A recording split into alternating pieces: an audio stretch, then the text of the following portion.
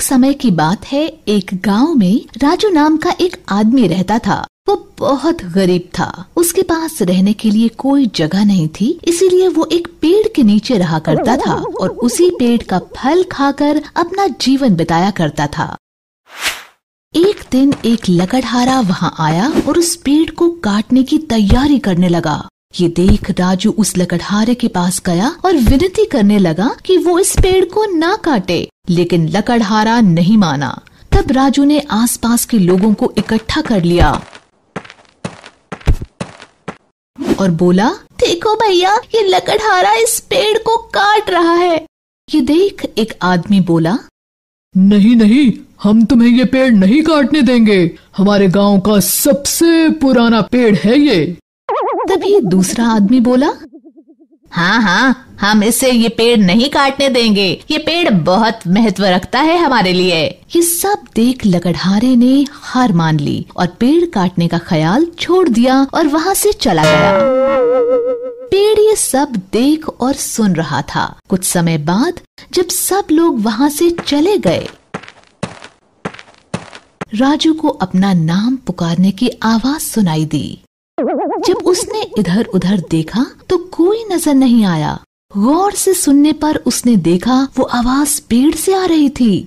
तभी पेड़ बोला, तुमने मेरी रक्षा की है। मैं जानता हूँ कि तुम बहुत गरीब हो, इसलिए मैं तुम्हारी मदद करना चाहता हूँ। मेरी बात को ध्यान से सुनना। रोज तुम मेरे शाखाओं से खाने के लिए एक फल तोड़ना और खाते समय एक इच्छा मांगना।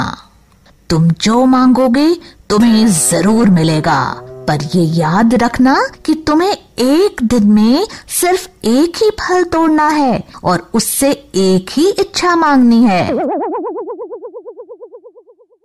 राजू बहुत खुश हुआ और उसने पेड़ के कहे अनुसार एक फल तोड़ा, इच्छा मांगी, तभी उसके सामने बहुत सारा खाना आ गया। अब ये सिलसिला यूँ ही चलता रहा और राजू रोज फल तोड़ता और इच्छा माँगता। थोड़े ही समय में उसकी हालत ठीक हो गई।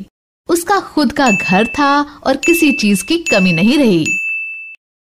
एक दिन राजू ने सोचा कि अगर वो रोज एक फल तोड़ने की जगह एक दिन में सारे फल तोड़ ले तो उसकी सारी इच्छाएँ एक ही दिन में पूरी हो जाएँगी। उसने एक एक कर फल तोड़ना शुरू किया और खाते खाते इच्छा मांगने लगा। पर उसने जो भी सोचा उसकी एक भी इच्छा पूरी नहीं हुई। वो बहुत निराश हुआ और उस पेड़ को कोसने लगा और बहुत बुरा भला बोला। मैंने तुम्हें कटने से बचाया और तुमने मुझे धोखा दिया। इतना विश्वास किया था तुम पर। अब मैं तुम्हें कभी माफ़ नहीं करूँगा। तभी पेड़ ने राजू को याद दिलाते हुए कहा मैंने उसी दिन तुमसे कहा था कि तुम्हें एक दिन में सिर्फ़ एक ही फल तोड़ना है, पर तुम्हारा लालच इतना बढ़ गया कि तुम मेरी कही बात को भूल गए और अब मुझे बुरा भला बोल रहे हो। जो हुआ, वो तुम्हारे लालच का ही फल है। राजू को पेड़ की कही ये बात याद आ गई और उसे बहुत पछतावा हुआ। इससे हमें शिक्षा मिलती है कि लालच इंसान का सबसे बड़ा दुश्मन होता है। इसलिए इंसान को कभी लालच नहीं करना चाहिए। और जो भी उसे मिल रहा है, उसी में खुश रहना चाहिए।